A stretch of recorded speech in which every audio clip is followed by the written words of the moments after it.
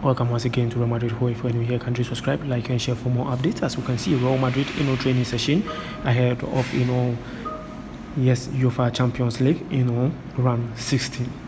Yes, this is the first leg that's going to happen. And yes, Real Madrid are fully focused and prepared as the players are, all you know, indeed making so many efforts to come out with you know this.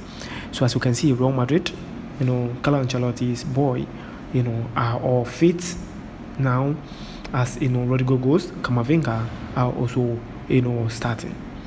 Yes, as you can see, Real Madrid, you know, Benzema and Vinicius Junior are also here making a lot of effort here to lead the you know young ones ahead of you know Liverpool.